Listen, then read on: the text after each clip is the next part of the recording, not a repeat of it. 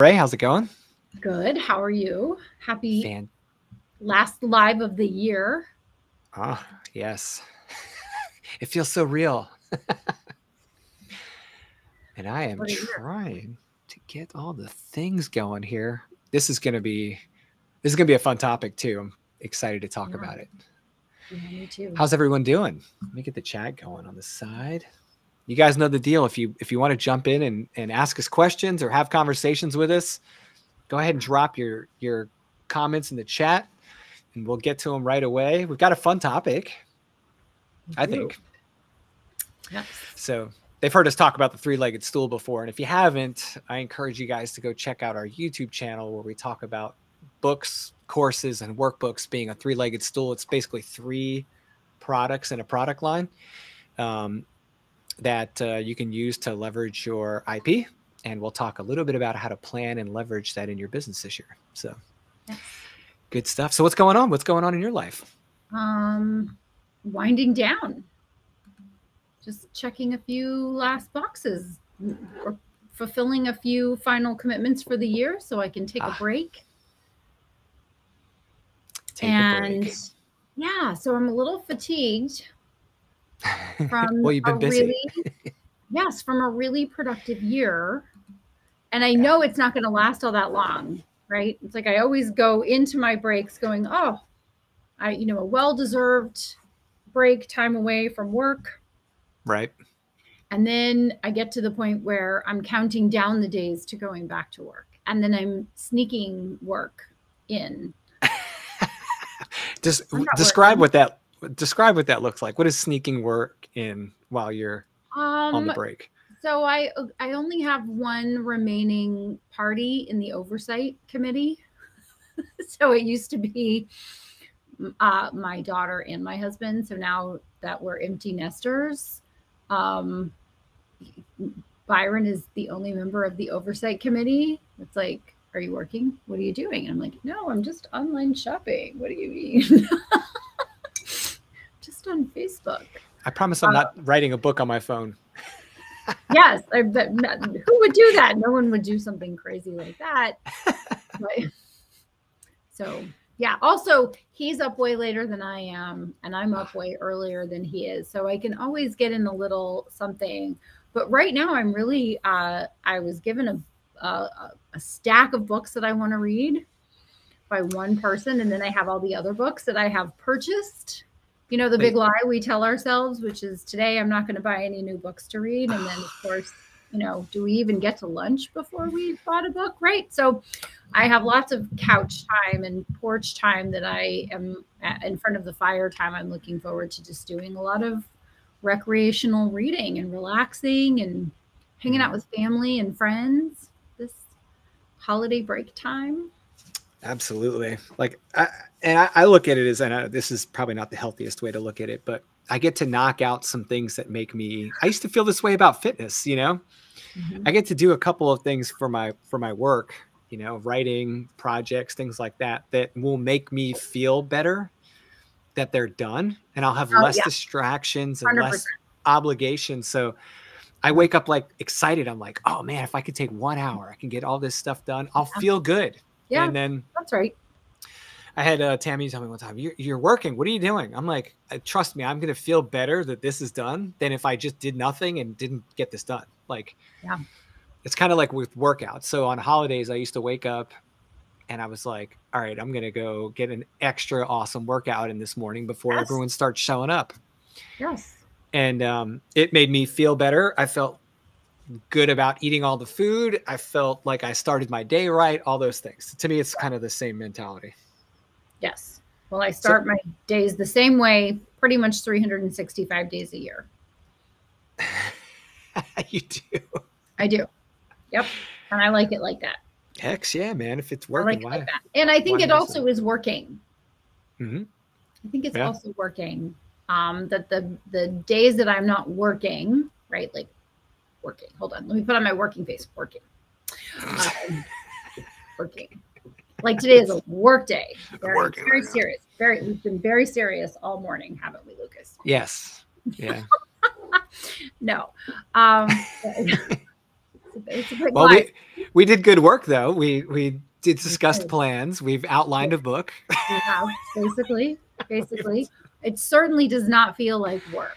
I will No. say that. But on days that are less work, workish, hmm um, that's when I work out a little bit longer. That's when I read a little bit longer. My my morning routine is a little extended because I don't have the urgency of the the clock. Right. I'm looking forward to less urgency around the clock and That would be a good commitments that involve other people Right. that are workish. Yes. Workish. Workish. Because they're not work, they're just work-ish. I've decided. Yes. That's what we're gonna call it. I like that. Yeah. So I mean Um, my life basically consists of having really amazing conversations and Hmm. doing cool things. So it's I'm certainly not complaining. So can I bring up a workish thing that's not a workish thing? That's also one of my holiday looking forward tos every year. Is it a Mrs. Smith pumpkin pie? yeah. I don't. I, I won't. I won't. Uh, I can neither confirm nor deny that there were three new Mrs. Smith pumpkin pies brought in my house last night. we're stashing. I, I'm getting ready for this for the right. can't can't find a pumpkin pie season. Um, my TBR list is my guilty work over the Mhm. holidays. That's also like if you're looking for a way to like get like make progress in your Yeah. professional life, but also scratching a non-professional itch. I I love using the holiday season to catch up on my TBR. So luckily for us, since we both dabble in the fiction world, sometimes that involves just reading really good books from people that you've been looking forward to. Yep. And then on the nonfiction side, I get to I get to read this, this over the next two weeks. so, good. It's so good. So yeah, I'm gonna read um, I Dan read that in the summer. I read that right after, right when it was released, and it's really good. so 10x is easier than 2x by Dan Sullivan and Dr. Benjamin Hardy. Yes, yes. I should start putting doctor on my book covers. And then people go, "What what did you do related to this stuff in your doctorate?" And you go, "Oh no, I think it's engineering." Well, so if I had studied psychology, I could just put it on everything. right. When was this book published? Let's see. Uh, what 10x is two better May- than 2x? May Easier 9th. So I think I read it on May 9th. Oh, did you get it the day it came out? Mm-hmm. Yes. Gotcha. I got the audiobook and I was particularly effective in reaching my goals uh, related to the gym because of that book. ah, Because I would just want to listen. The cool thing about the audiobook, so now I'm going to ruin you reading this book for you. Sorry. that's all right. sorry, not for- sorry. I'll forget.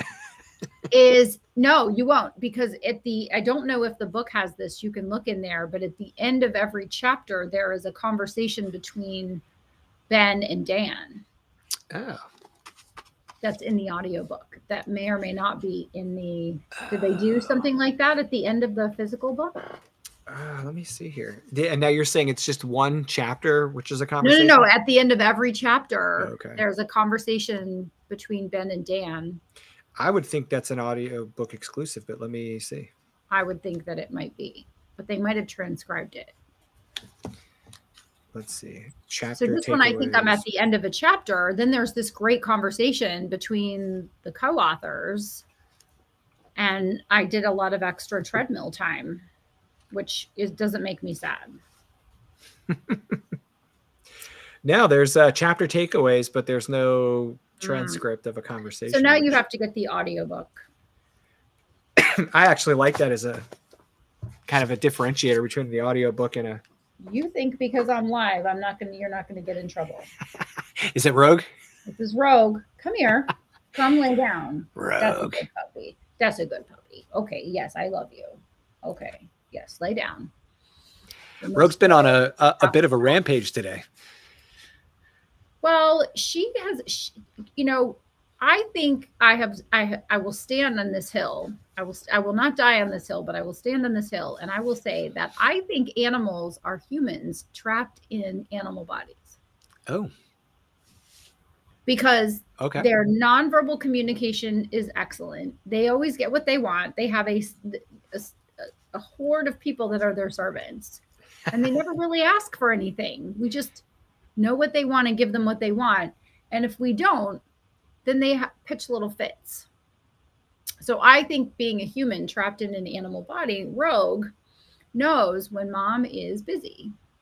And that's when she goes and does the naughty things and then looks at me all cute like but you love me mom and i'm cute and i'm a dog so how much trouble can i get in so i can go bad puppy and whatever and then then i feel terrible because she's so cute and she's a dog so they're winning I'm Oh, Ella.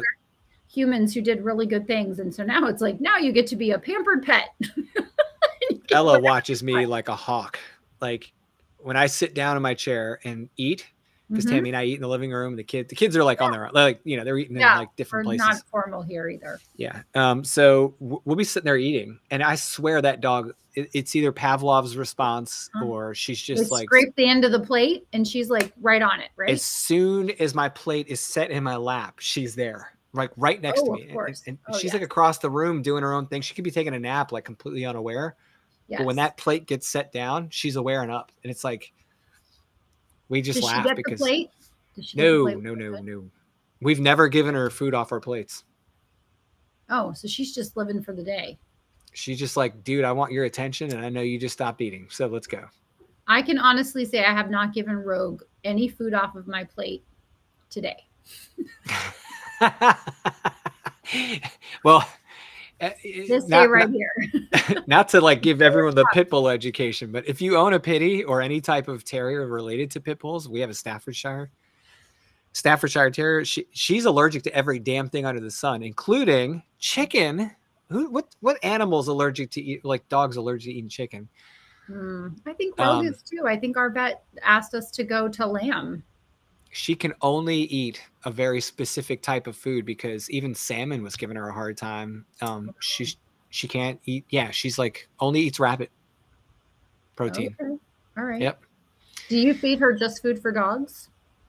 Um, yeah, she just has dog food. It's a very specific blend of rabbit. Is it called just food for dogs? That's what we Oh feed- no. Oh no, that's the brand that we have, just food for dogs. So yeah, we're not that bougie. Yeah, they eat uh they eat better than we do. yeah. She eats better than we do. Now we do mix pumpkin and green beans in with her food Yes, because Started giving her green beans as a treat, which Yes. she really likes. so that that fill because you know Ella was putting on a little bit of weight. Um, she was getting a little thick, so they were like, "Hey, stop giving her like giving her a full scoop of food twice a day. Give her half a scoop of food with some green beans and some Pumpkin. pumpkin, and the pumpkin helps her digestive system." All right. But Well, so anyway, but off of off of the dog topic and back to the TBR pile. pile. I'm Yes. really excited about all the reading I'm going to get to do. Yeah. I'm just so excited to have hours of uninterrupted reading. yeah it's it's one of the things i feel a little guilty about like i, I would say that this Your like it's your well, job. it is and it, it, it's also like an obligation that i feel like i have toward other authors and and and friends that are that are in the Oh, same yeah. genre and because i want to support them Yeah. so i want to read their book and give them a nice review and send them a nice message and all the things and i'm like they stacked up you know and Yeah. I would say that uh, it's probably one of my guilts of the year is like if I if you make a really aggressive writing and publication schedule, you have less time to do those things. And I've just been a little too busy to be able to catch up on my casual reading. So normally it wouldn't take me weeks to read a 350 page book, but it's taken me weeks to read a 350 page book. Yeah. So, anyways, Yeah. uh, Anyway. I- yeah, and I, I usually read before I go to sleep, but um, you know that's only good for a couple pages. Then I'm nodding off. I will say, I will say, we had our EBM kickoff last week, yeah, um, and so I, I, I think I'm just now coming out of that hangover. Yeah. Yep.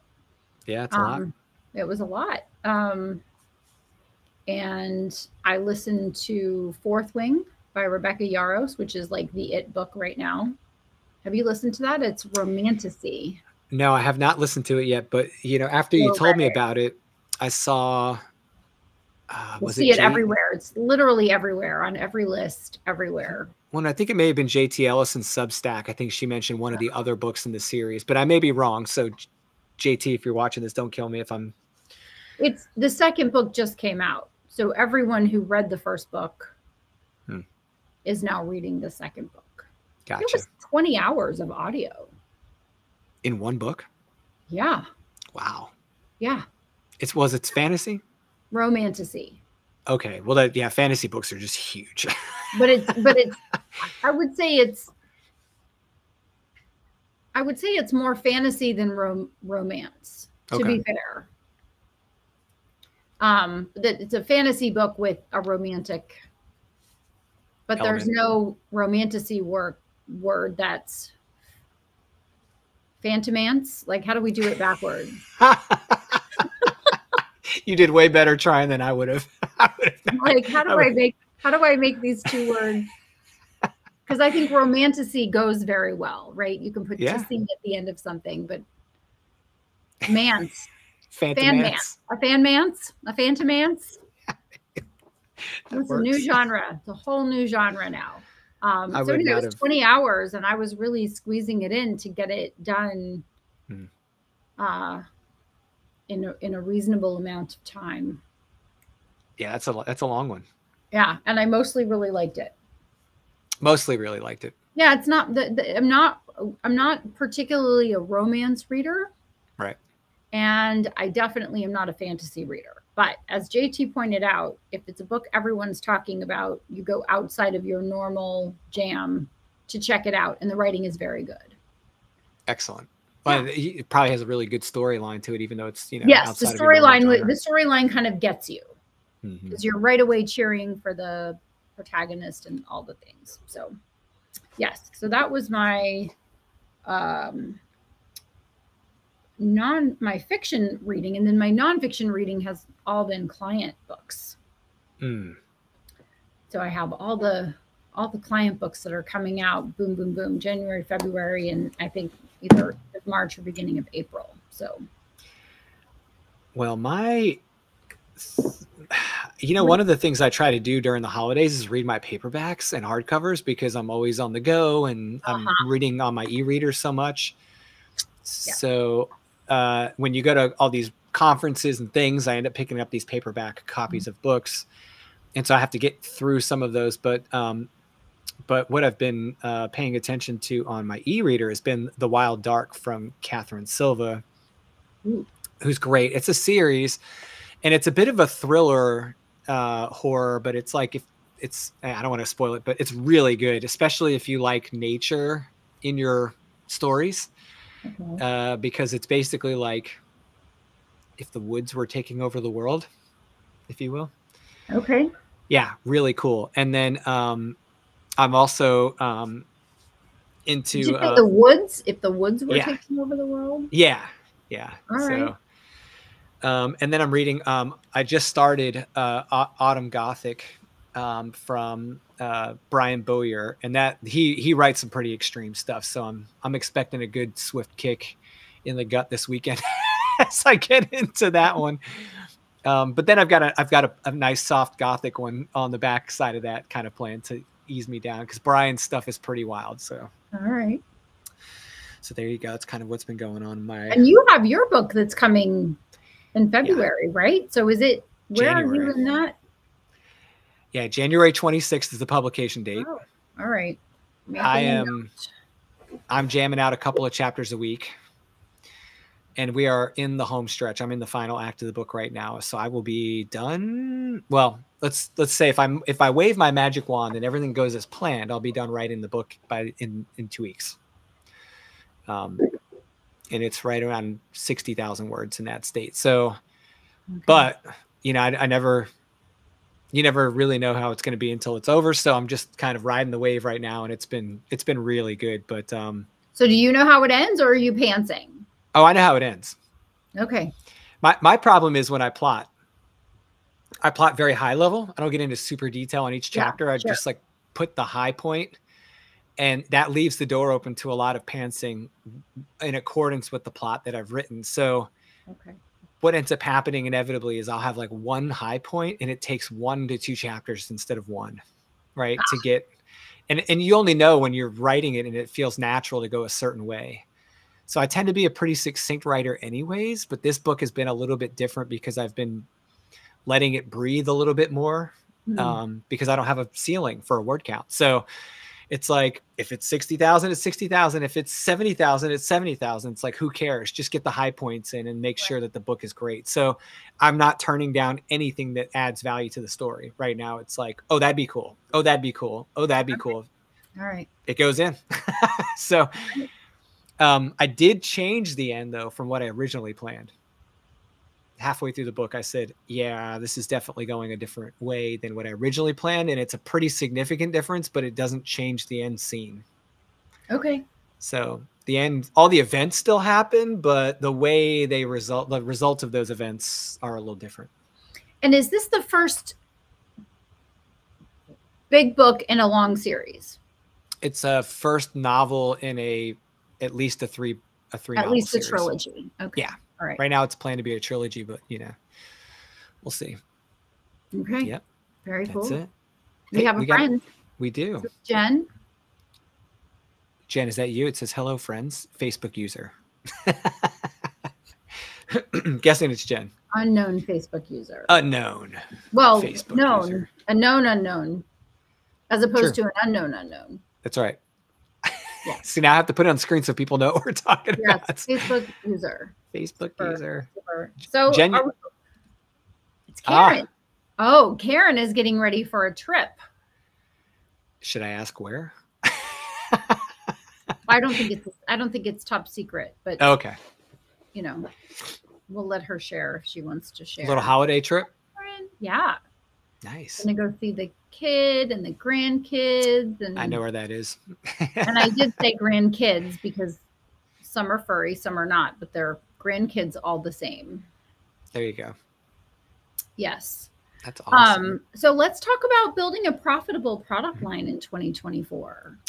yeah, this you know, is we a like to talk about prosperity and profitability and yeah, and this is a, a bit of a follow up to the Uh-huh. conversation we had last well a week and a half ago, two weeks ago, um, Yeah. where we talked about like just planning how to take lessons learned from 23 and roll them into 24.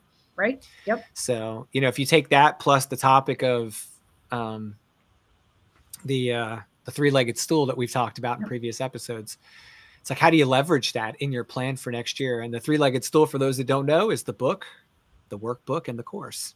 Yeah. Right. Or some kind of a companion. I'm actually Right. doing one for a client that's an action guide because it's just going to be in the front matter as a a, a book optimizer and a list builder. Awesome. So it could be uh, a journal, a workbook, a companion guide, a companion planner, an action guide, something downloadable. So when you're when you're building your product line, the first product in our world anyway is usually a book, a nonfiction book that is inspirational, transformational, um, something of that nature. And then you want to have a companion something Mhm. that is also generally a book of some sort, workbook, guide, companion planner, what I just said, that is a companion that goes right along with the book that allows the folks who have read your book to put it into practice. And the next level in this product line is your bailiwick, which is a course. Yeah. Yeah. And you, you can you can kind of uh yeah, I've had asked someone asked me last week, does it matter if you have the course before the book or the book before the course? My preference, just like your preference, is to have the book first. Yep. Um, for several reasons. One of which it's so much easier to it's more accessible, it's usually priced more accessibly, it's easier to get your hands on, Yep. it's easier to share, all those things. It's also um, it carries more uh, let me let me see how do i put this without offending any of my fellow course people because it doesn't offend me whatsoever as a as an author and a course guy but for some people they'd be like why why is a book more important than a course it it carries a certain amount of authority It does. um and and familiarity i think for there's tons of people out there that still don't have or haven't taken online courses, although it might sound nuts to people, Yeah. but almost everyone has had books in their hands. Um, and it's a it's a totally different uh, creature. But anyways, i- if you have the book first and then the workbook and then the course, that's fine. If you have the book first and then the course and then the workbook, that's fine. But uh, it would be a rare exception that you'd see a workbook before either of those two things. Yes. Yes. Right? Karen said she decided to do a workbook companion to her editing book, and uh, you're welcome. Um, uh, but I think that will make it so much more effective for people. You can you, you- putting something into practice. I'm reading an advanced copy of a book, and so when it comes out, I'll talk about it. But one of the things that the author says is that if you want to be uh, a well respected speaker, practice is very important. Right. Um, and he, what is it that he says? Uh, it's not going to come to me, but he basically says, don't do anything off the cuff. Don't just figure it out. Don't just say, yeah, sure, I, I'm a paid speaker and get up and just riff, right? You want to make sure that you are practicing, practicing, practicing, practicing, put your talk together. And so there's something very powerful about that practice that allows you to um, deliver something that isn't practiced, that isn't Mhm. rehearsed. It doesn't feel rehearsed. It doesn't feel canned. It doesn't feel like something you've said over and over and over again. I think some of the best keynoters I've ever seen, I've seen them give the same keynote several times. And every single time it's fantastic. It's not like, oh, I've heard this before Right. it feels extemporaneous. It feels like you're having a conversation with the speaker, that they're having a conversation with you, but it's clearly some something some material that they have command of. And where your workbook comes into play is it allows the person who's read your words to put it into practice. The one thing about this book that I'm reading is I know because it's done through a traditional publisher that there is no workbook Hmm. that I have to go back and read the content and do my own workbook. And if I were working with this author, he's on my wish list, by the way, to do a, a bespoke book with at some point. Um, I would say, let's do a book and a workbook and a course. Like, let's do these things together because you're giving people very great, concrete processes that I am going to go back and do step by step by step, but I'm going to have to do it in my own journal, Hmm. on my own paper, in a in a way that's not going to make him any more money, Right. right? So when you're thinking about next year being the year that you write your, let's say it's your first book. For you, Lucas, it's going to be your next book, your next nonfiction book. Mhm. Think about it from an extension perspective. Think about it as a, a happy meal, right? You wouldn't just go buy a cheeseburger. You would buy the cheeseburger. I would get the shake. Wouldn't you get the shake? yeah. I mean, if I'm, Yeah. Yeah. I mean, if I'm, Yeah. if, I'm going all in. If I'm Let's going, and the fries, large the- fries. large fries, but maybe tater tots, maybe sweet potato fries. Is this a compromise for the milkshake? Is that what we're doing? I'm saying put together, put to think of your think of your book as an entry point, and instead of ending with one book, Mm. end with multiple products that would serve your reader or customer or client in the, at the highest level. right. and the way that people consume their content consume the knowledge that they want and and embark on their transformation is a little different for everyone so you want to have the ability for people to say well i'm not really a, a, a, a learner by reading i'm a learner by doing Mhm. I want I need a place to do what you're suggesting, which is what's happening in this book that I'm reading right now is I I am I immediately am skipping over the homework section because I'm like, okay, I've got to come back and put that into practice.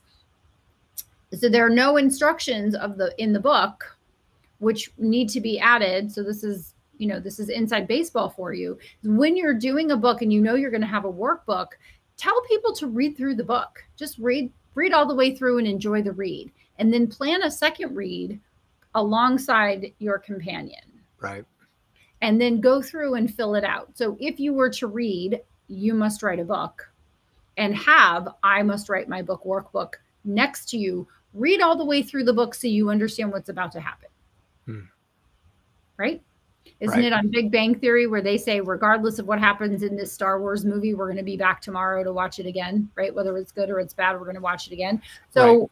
Whether you do the process or you don't right away, plan to come back and go through it again and give people a place to go through and put your advice into practice. Hmm. And for those people who are who are um, blended learners who learn from a conversation or through videos or audios, they're auditory learners, they're kinesthetic learners. You also want to provide a course for them to walk them through, yes, that same material, but in a deeper, broader way. And I'll let you talk about the course aspect and why that's important, why it's different from a book. Because some people just go, Oh, I don't need to go to the conference. I don't need to attend the seminar. Right. I don't need to do the course. I can just read the book and I'll be just fine. Thank you very much. But I think there's some missing things. I'd love you to talk about those. Yeah, I mean, you have the ability to well, well, for one, the you have a little bit more in the moment control over the content and release schedule of a course than you do a book. And I'm telling you that as someone that self-publishes nonfiction. So like even as a self-published author, I even though I have all that control over the content and I have uh, I can update files and things like that, I can't. Um, the, the person who's bought that book, they have the book they have, right? Like they don't and it doesn't update it. behind them. Right.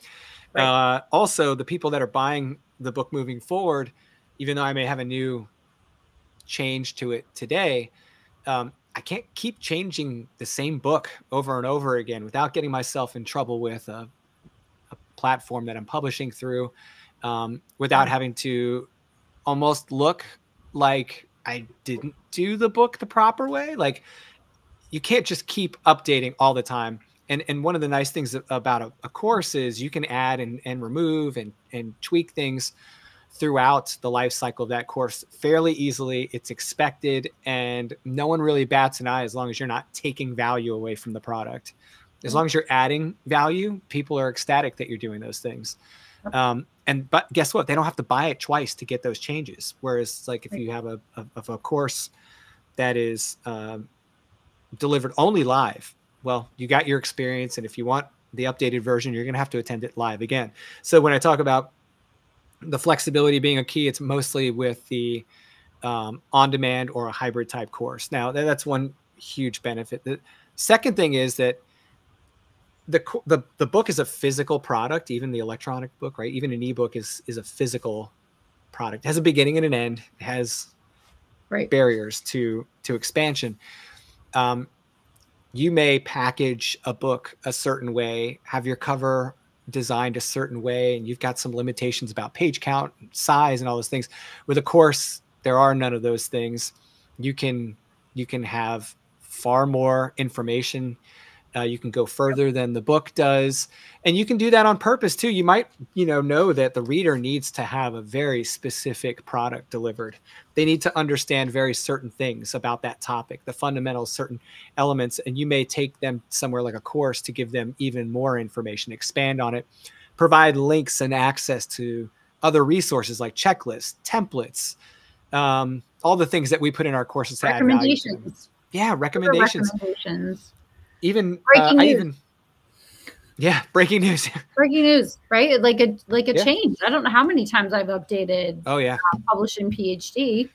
Yep, and um, I even um, have uh, time. I even have in the in the monetize your book with a course. Um, I have specifically I in that book I put a free course of resources together for readers of that book. So if they've read that book, they can go to my course site and they can enroll in a resource bundle for people who have read that book. It'll be relevant to them and I'm oh. adding value. Now that's a place I can change by the minute if I want. If I want to change referrals, if I want to add people, deduct people, I can do it there and I don't have to worry about doing it in the book because it's a more flexible place to do it. So that's a complimentary product that's free, right? And I use that by the way also as a way to capture people for the email list. So yep. if they go from my book to my site, they're not just going to my site and signing up for an email. I'm giving them a ton of resources in exchange for that email address. um, like here, download all this free material. It's it's yours. Have fun with it. Um, and and and that's a reward for for trusting me with your email address. So yeah. the course gives you the ability to do those things in a way that you know is a little bit uh, outside the norm for a book. So I have a question. I think this is really impactful for people because this is the way my brain works. So I think it's valuable. Okay, great. so, wow. So when I when I met Honorée and I'm like, this is great. I want to do the thing. I want the book. I want the workbook. I want this world. Um, yeah, I having not gone through it yet at that point, I was I could see that I needed a certain amount of time and energy planning um, to make it happen the way an expert was telling me I should. Um, when we talk about the three-legged stool, we're talking about multiple products. So if I'm going to build a a product line, if I'm going to take, let's say, the you must market your book, and I'm going to put that as like one of my key things for the year, I'm going to develop that product line about marketing books. And I know I'm going to do a book, a workbook, and a course. Mm-hmm. I know I've basically got three related products, and I'm going to develop them somewhat simultaneously, but not. And if I'm a first time author, it's going to be different than if I've done this a couple of times and I'm a little bit comfortable moving in and out of these products. So for a first time author, consultant, coach, someone that does this for a living, they want to bring that nonfiction book into their world. Um, when should I plan on the book first? Like, what's the right time to start that? Is it should I publish that book in December or should I start planning it in January and release it at a certain time? Like, what does that look like? Well, I think the reason I want, at least I wanted to have this conversation this time of year is because I want people to end next year. So if you put yourself on a year track, mm-hmm.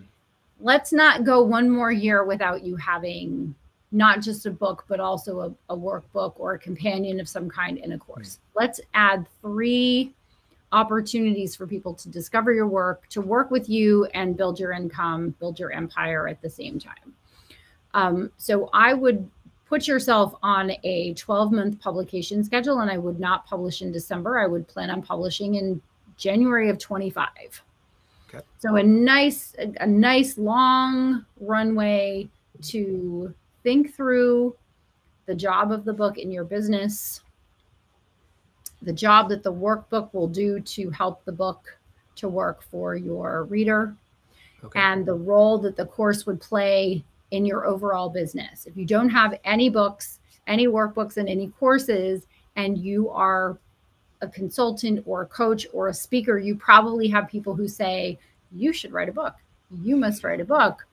And so you have to lay the groundwork first. You've got to figure out where does the where do these assets fit into your business? And then how are you going to develop them and when are you going to release them? Now, 13 months is a really long time in our world, Lucas. And so we're going to sit a year from now um, with probably many projects under our belt. But that's because we're coming at it through the lens of experience. So you've got a few options. You can figure it out yourself, you can get a mentor and shorten your pain and suffering and production cycle, or you can take a course, right? Or courses and, and figure things out or read books. Um, if you want to shorten the cycle and you still want to have products that are making you money a decade from now, your best bet is to sit at the feet of someone who who has done it and does it on a regular basis. So I'm the publishing side, Lucas is the core side. So end of commercial, but I'm just going to say if you if you aren't going to do that, if you're going to try to figure it out yourself, give yourself a nice long runway to do it so that you have at least the time to do your due diligence and your research and figure things out if you want to do it faster, if you want to, you know, build revenue sooner, then you're going to have to spend revenue or spend money to make money. Right? right. So, so those are the first things. But let's just go with the year time frame. If I wanted to look uh, at doing one book, one course, and one workbook in a year's time, the where I would spend the lion's share of my first amount of time is on outlining outlining the book because outlining the book does two things. It provides an outline for the physical book that you're going to write. It's providing an outline for the workbook or journal or companion planner that you're going to write. And it's also the basic outline for your course. Right. Yep. So you're actually this sounds terrible. Killing three birds with one stone. No birds were harmed in the creation of this IP. I do agree um, with that, by the way. yes, three yeah. revenue generators are created with with one focused period of time where you have figured out what are the contents of the book, the workbook, and the course. They're all different, mm-hmm. but they all work together. That is right. where I would spend the lion's share of my first bunch of time, maybe even over the, the break. I would look at what is the content of the book? What what do I want? What well, I'm going to back up a step and say what's the job of the book? Right. Right. You know where my brain just my brain just Oh yeah. Like just like uh, hitting the the scratch on a record right away.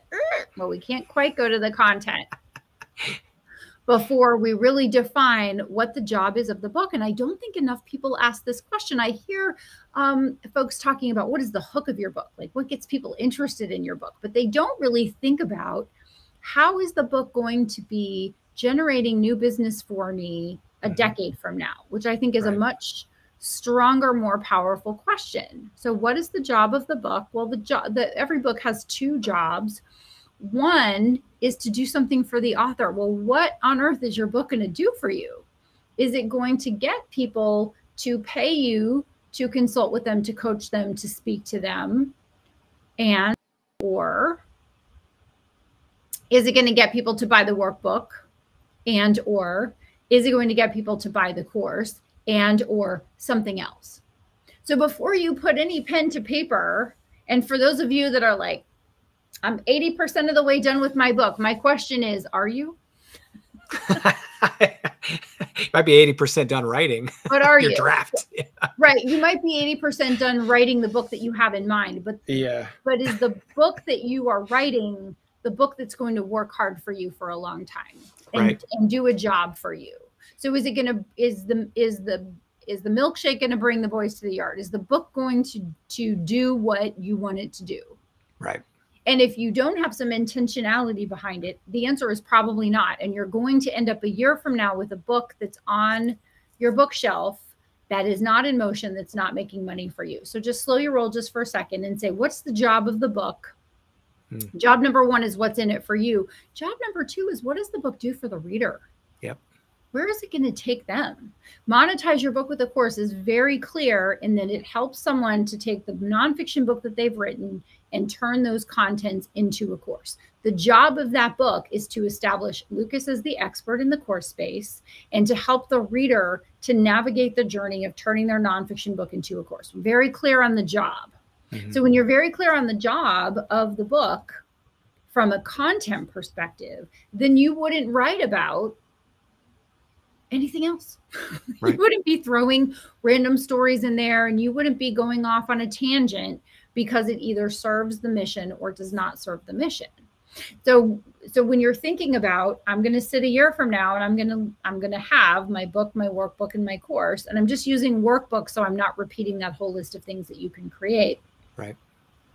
Then you have the ability to create a landing page for your course. So the great mm-hmm. news is that if you if you spend time in the forethought and you really are answering three things What's the job of the book for the author? What's the job of the book for the reader? And then what are the contents that support the job? Yep. That's it. So that's your basic outline. And there are ways to do that. Um, we're not going to spend our time talking about that because we're going to run out of time.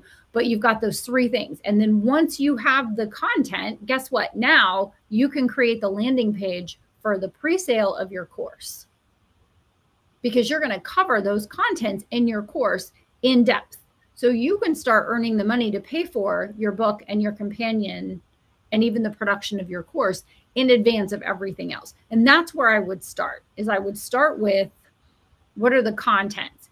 And then I actually do the companion last. So I do the outline for the book. I put up the landing page and you can go watch our three-legged stool video to for a deep dive into this. Mm-hmm. And then I get busy writing the book and then I write the book just as fast as my little fingers will take me, um, you know, in my hour every day. And then once the book goes to the editor, who I have booked well in advance, by the way, mm-hmm. um, Then I get into course creation because I want to get the course out there and earning money even while I'm finishing the collateral assets that go with the course. Right. And that is the the I think the very fastest path to building a profitable product line in 2024 and and really making the most of the time that you're going to invest in building that product line in a year's time. I, I like that you targeted a year because there's a compounding obligation when you have multiple products. And what I mean by that in like English is book, then workbook or course, then workbook or course. There's three products. And if you yeah. try to layer them all on top of each other at the same time, it's still going to take you forever. You're just dragging it out instead of doing one yes. at a time. And it's to me, yeah. it's not the right way to focus on the product because yeah you know when you write the book you really want the book to be great. And then that great book is a, such a solid foundation for a great course and a great workbook. So you know taking the time to do the book right. So for those that are going a year? What? Like look for you to do the book right with an editor cover designer doing all the things to get all your accounts set up and everything you're looking at six months you know like comfortably but moving quickly. You know yeah. so six months to a year is not unreasonable um, for the no, book. and it goes by so fast. And if yeah. you give the editor two or three weeks to edit the book, and you give the mm-hmm. proofreader one to two weeks to proofread the book, and you give the video editor a couple of weeks to, to yep. edit your videos, you've got to have them top and tailed. You've got to have the music added. You've got to you get your you have to get your retail accounts for your book and your companion. You've got to get your course platform squared away, and you've got to learn it.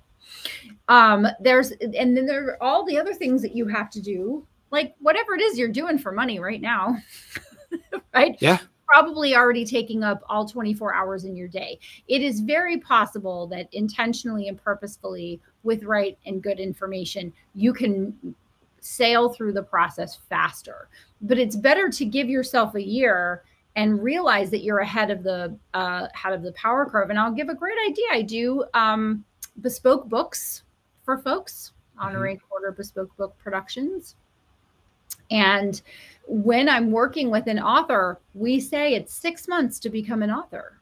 From yeah. the day we start to the day we publish, those dates are six months apart. We have a kickoff meeting. We go through what the whole entire schedule looks like, and everyone agrees on what that looks like, and we're all happy, and and so on and so forth.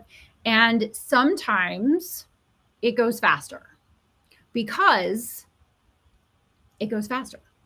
Right. sometimes there is a delay of game because sometimes there's a delay of game. Yeah. And so with one author, we were able to order his books with on the 94th day of 180 oh, wow. days. Wow. Because we had the kickoff meeting, the work with the ghostwriter was smooth, the review of the manuscript was smooth, it went right to the editor. It came right back because the book was written by a ghostwriter. So the editorial process costs less, takes less time. Went right to the proofreader. Went right. I actually had time for two full proofreads, and we still ordered the proofs on the 94th day and had them on the 100th day from when we first started. And I went and delivered the books on the 100th day to the author, which is huge right? That's yeah. very, very, very fast to That's produce a fast. quality book. And it's only because I've been to the dance a few hundred times that I know exactly right. what needs to be done. Um, so it's very possible that there will be no stumbling blocks, that you are prolific. And when you do your due diligence on what the contents are, as the SME, the subject matter expert, you may be able to just sit down and like crank out that content and then get it over to an editor that you've scheduled well in advance. And you may sail through the process. However, when you're a cover designer and you require some back and forth, allow the time for that. When your editor comes back with your manuscript and it looks like a crime scene, and it will, you need to go through those edits and you have to think through the decisions. Allowing yourself to to have the time to take feels so much better. It's like going on a trip and having oh, your yeah. bags by the door the night before. When you're like, I know the trip is coming. I know Christmas is coming. My shopping is done. The gifts are wrapped. They're under the tree. There's no stress. As opposed to the people that are like, well, I worked up until six o'clock the night before I get on a plane at four in the morning. So I'm up till midnight packing getting things ready. I'm at the mall the day before Christmas buying, you know, anything that, I can get my hand on. Those are just two different those are just two different ways to do books and I've done them mm-hmm. both ways. I've done them expeditiously and and I've done them with plenty of time and I will just say under the umbrella of plenty of time is a no stress, enjoyable, pleasurable process, which is also why people hire me because they go, I don't want all the pain and suffering on right? right? You, I will pay you to do the pain and suffering part, which for me, it's not pain and suffering because I know what I'm doing. So it's, it's right. a great trade off. But when you're doing, you, you took a bit, a bit, of time to do your first book, but then once you get it yeah. done and you get your sea legs, see what I did there? I'm speaking military to you. So nautical. So nautical. Um, once you once you have that, you will be able to create additional product lines much faster, and yeah. from a place of power and strength as opposed to stress and weakness, which are I, they're just not advised. I see a lot of people who hurry mm-hmm. and rush, and then they get to the last ten percent or they have a date in mind and they go, I just have to get this out because it's really important. I get it out. And then they get it out. And gosh darn it, they wish they hadn't because they rushed mm-hmm. or they just didn't do it as well as they could. And now they have to do it over. And if you right. don't have time to do it right, when are you going to have time to do it over? Yeah, no, that's a great point. I mean, that's why, I, you know, and you had to talk me off my ledge a little bit when I was first doing the first book, not the, not the writing ledge, because I think when you're writing, you kind of, yeah you own the writing part i think as a writer like everyone yeah. it's like okay this is me. But the minute like they think the writing's done they're like oh okay. So now we can be like we can get to production pretty quickly right? And it's like well you know we had a really Not good really. conversation where i was like what does 30 days look like? And you were like what are you talking about 30 days? Like you're going to need you're going to need 60 days to do what you're what you're talking about. Yeah. And um is it possible in 30 days? Yes. Is it going to damage the quality of the book Yep. And well, if you don't gonna, know what you're doing and you don't have the team on right. standby, those are the that's the difference. Yeah.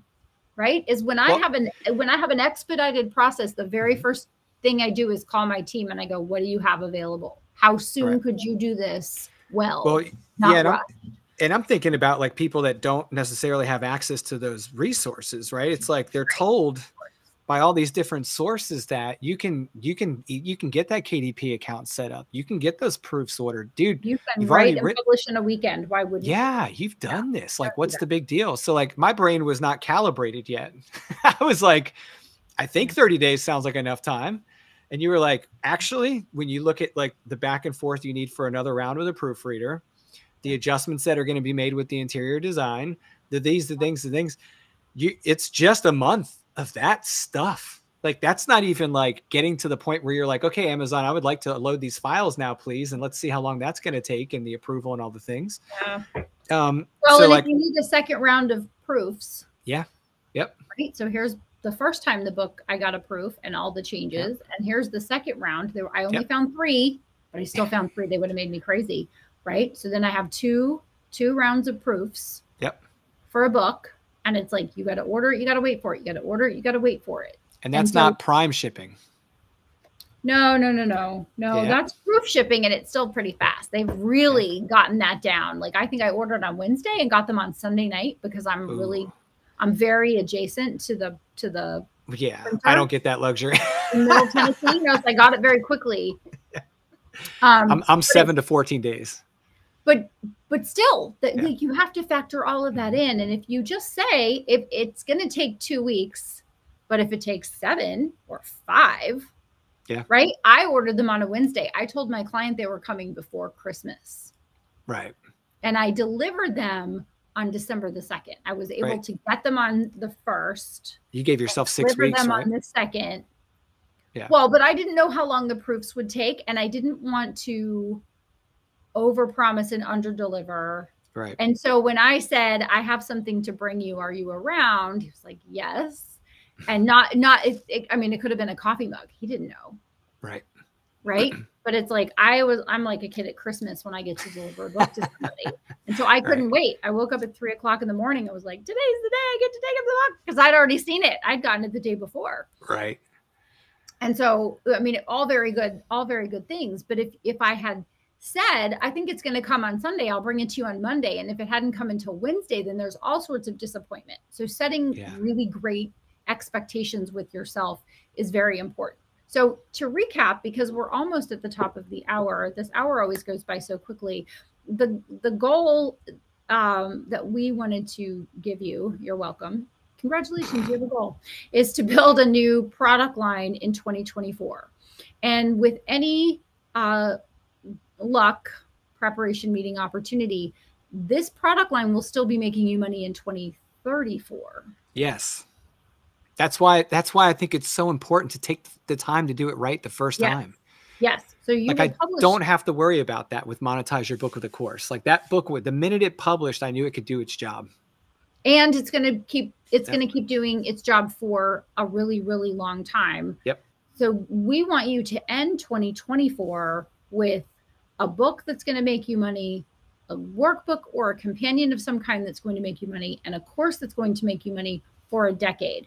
And it's interesting because I have the memories pop up about this time of year from when I published You Must Write a Book in 2016. Mm-hmm. And that book is now a two comma empire for me. Right. Because it is about to be three books, three companion workbooks, three courses, and a mastermind. Right.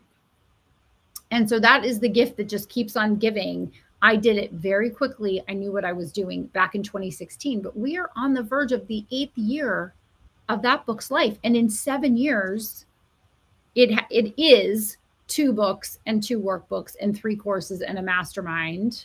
And also separate, but not separate, my bespoke publishing service, right? And in February, I will release You Must Monetize Your Book and I Must Monetize My Book Workbook. And so then it will be three books, three workbooks, and three courses and a mastermind.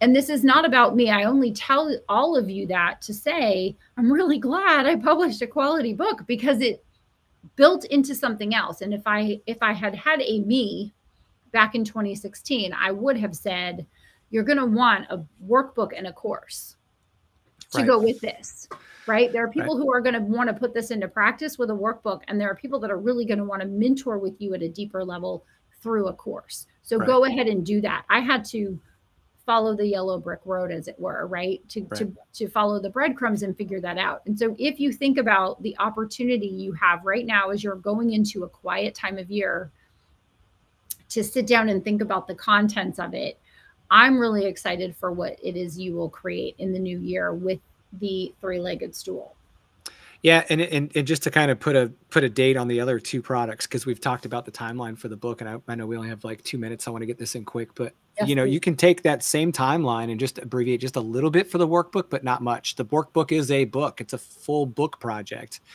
The the creation part might be a little shorter because you're not writing as many words, obviously, and you've already done a lot of the work to develop the book um, but there's some other things that are a little unique about a workbook, and you're going to have to work through those. But you still have editing, you still have proofreading, you still have design, you still have publication. So the workbook will take a little bit shorter time than the book. The course, yep. surprising to most people when they first talk to them as clients, they're like, "How long?" I'm like, "I wouldn't do this in less than two months," and they they just cannot believe it will take that long until right. they get in there and realize, oh, there's like a lot of launch planning that comes with this. So even if you have the course produced in that two month period, if you don't give it two months, if you give it a month, you you you don't have very long to promote it. You don't have very long to build a list of people for it. Um, use the book to build the audience for the course. Use the book to capture emails to sell the course to and the workbook to. Let the book do its job. Do the book first, then take on the workbook and the course for that reason your course will market much better if there's someone there to buy it. so, and you're going to feel a way different sense of pressure with selling the course than you are with the book because the book in many ways that the industry is selling your book a little bit. There's platforms that are you know accessible and things like that. With your course it's pretty much you and if you don't have some type of audience built up you're going to be talking to a very small number of people at first and it's going to be a little harder to convert that so give yourself two to three months for the course you'll feel better so you, this is where you come up with a year right so if you did six months two to three months, two to three months. There you go. Yep.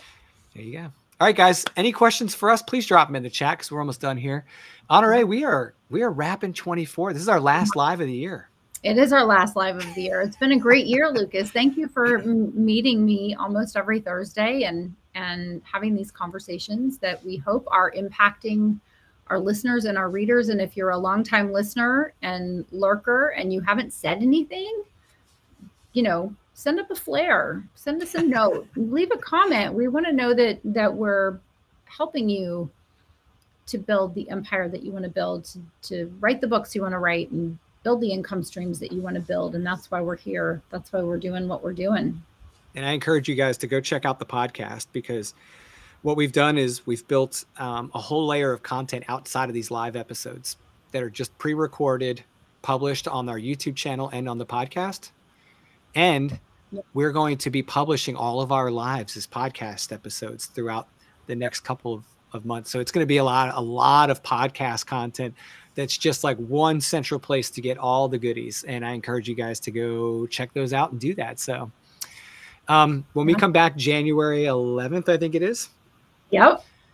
Yep. We're gonna Are we- have three um, releases though, so we're gonna. Oh, you're yeah. still gonna have some content for us. If you're used to tuning in on Thursdays, go ahead and tune in because, um, because we will have content for you to consume over the next few weeks, and we have a lot of back content for you to consume as well. But when we come back, we are gonna have Cameron from Plottr join us and talk about all sorts of magical things. And we that's it. That's the, all the spoiler you're getting is that we get to meet with cameron from Plottr which is an application for plotting out your book fiction or nonfiction. And so that's the end of any spoiler that we have but cameron will be joining us in january and we will get to have a great conversation with him about what Plottr is and how you can use it when writing your book. So your job right now is just to outline it. Just do a little outlining. And we will pick up where we left off in just a few weeks. And we hope that you have a great holiday season, whether you are with friends or family or hanging out with your dog or your cat or whatever you're doing. We hope that it's just a magical, uh, rejuvenating, refreshing, wonderful time for you. That's right. Looking forward to it, guys. 2024 is going to be great. Wrap up 23, get that time with the family, and then we're going to all be on fire. Yes, a fire, a sustainable fire. That's right. that's right. We're going to come back and you're not even going to know. The, people that left at the end of the year were very tired. These people are very energized. So be prepared. Be prepared for caffeinated, rested, and energized Honorée and Lucas because we're That's gonna right, I'm gonna hot. Eat my body weight in pumpkin pie and mom's homemade Italian chicken soup. So we're good. That sounds awesome. All right, guys. Well, we'll see you in January. We'll see you January 11th. And we wish you all a very happy holiday with your families and loved ones. And if you need anything, you know how to reach out to us. And uh, we'll see you guys at the empirebuildersmasterclass.com. All All right. right. Thanks, everybody. Thank you, Honorée. Thank you, Lucas.